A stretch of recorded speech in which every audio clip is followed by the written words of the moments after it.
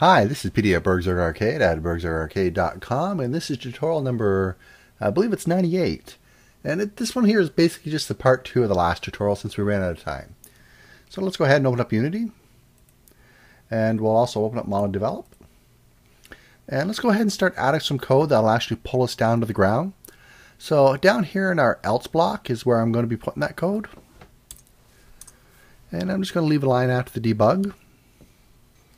Now what I'm going to want to do is check to see if we have any collision flags. And the one that I'm really interested in is collide below. Now if you go look up collision flags on uh, the Unity scripting reference, you can get a list of all of them. But basically the one that we want is collide below. So we're going to make a, a comparison with them. So we're going to say if and then our collision flags so we're saying if we have a collision flag and a single ampersand, and we're going to also be looking for a collision flag, if I can spell it. Collision flags dot collisional below, and let's take a second look at them all. There's above, below, collide above, collide below, collide sides, uh, none, and sides. We want collide below and you'll see why when we move in. And we want to check to see if it's equal to zero. And if it is, we want to do something. So we'll fill this in in a bit. What I'm going to do next is come down right above our collision flags and I'm going to add basically a fake gravity to us. So we'll come up here and make another variable for it and I'll make it public of course. And it'll be of type float not goat. And well, I'll just call it gravity. And let's just start off at 20. And the setting for gravity. And down here, just above our controller.move, I'm basically going to apply this fake gravity to us. So I'm going to take our move direction and I want to take its Y property, which is basically up and down, and I want to subtract from it our gravity, but I want to multiply it by time dot delta time so that I get a basically a smooth falling. So let's save that off. We'll go right back into Unity, hit start, and boom, fall like a rock. And we're moving way too quick. So let's go ahead and here where we're moving our character, let's adjust this. Let's make it move uh, time dot delta time. So it'll be a little bit smoother for us. And of course we hit play, we fall to the ground, and we move around. Now I haven't added the rotation in yet or running. But as you notice it looks fairly familiar to what we had before and probably a few lines less of code. So for rotating our character, uh, let's just use the exact same code we used before since it didn't involve using our moving the controller around. So I'm just going to go back into our old script. I'll cut and paste it. And I'm going to put it right above the check to see if we're grounded. I'm going to get rid of the debug statement because I don't need it. We know that works. And just quickly make sure that everything there logically makes sense. And I'm going to change the way this looks. Well, change the way it works too. Uh, just to make it something different than we did last time. So instead of checking to see the if the axis or the absolute value of the axis is uh, greater than zero, we're just going to see if they're pushing the button. So if they're pushing the rotate button, or either one of them, uh, then we're just going to rotate. And uh, it should be the same name for our variable. Yes, rotate speed. Great. So that should actually just be fine. Uh, let's quickly go check it.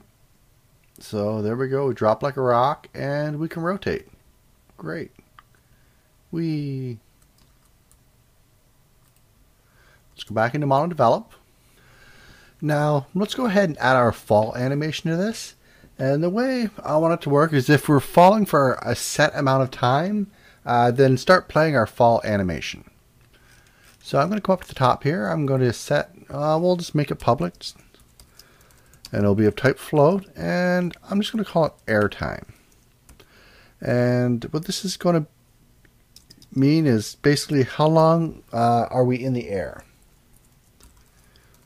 How long have we been in the air since the last time we touched the ground? And I'll scroll down to our update. And then in my is grounded part, uh, right after the debug, I'm going to set this to equals zero because, well, we're on the ground. And then I'm also going to come down here to where we're checking the collision flags. And if it's in this block, then that means that we're actually in the air. So what I'm going to do is add some time to it. And the time I want to add is the time dot delta time. So the time between the last frame. And then I'm going to check to see if our error airtime is greater than a value that we're going to set for you know how long we have to be in the air before it's considered a fall. And I'm going to make that, well, I guess we'll just do it on the private or public. And I'll call this fall time.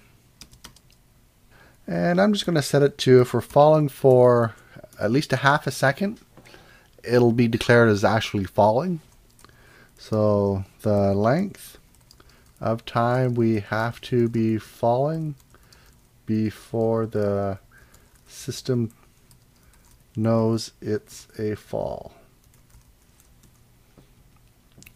Uh, the character collider, as it goes along the ground, it will kind of bounce. It'll go below, then get pushed up, then go below and get pushed up. That's why we're creating variables to check to see how long we're in the air. And if we're in the air for more than half a second, it's not just a matter of the the terrain collider or whatever mesh collider you have pushing our capsule collider up into the air and letting it fall again. So we're going to come down here and we called it fall time. So if it is greater than, then we'll, we'll just call some function called fall. And I said fall.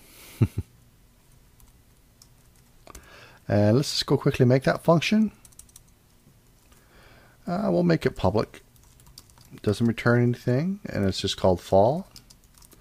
Uh, eventually, we may want to pass variables into it, but for now, we don't want to. And then we're going to use animation crossfade. And the animation name that we want to crossfade. I know mine is called fall. And since we have one that we're crossfading to down here, let's also go up into our start method and the very last line, we're actually going to start our own, we'll tell it what animation to start with.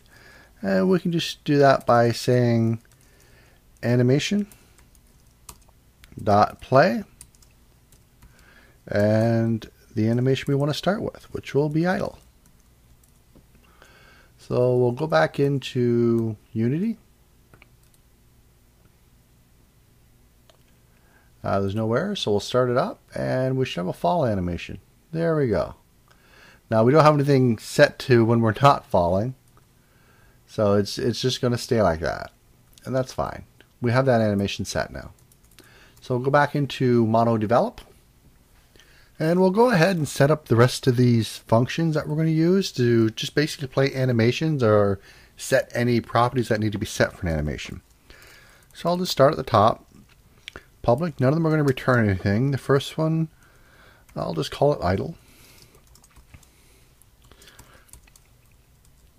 And the line of code is actually the same, uh, except for the animation it's going to call. So I'm just going to cut and paste. Uh, the next one will be walk. And we'll make sure to change the name up there. We want run.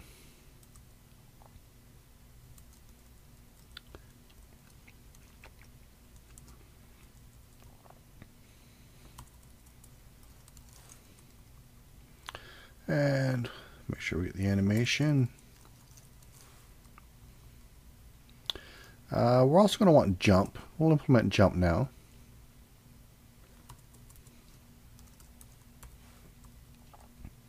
And I know my animation for jump is just called jump.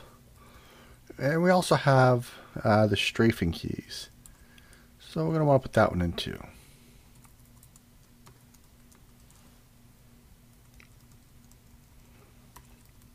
And that one's called side for me. Okay, so we have all the calls to the animations in.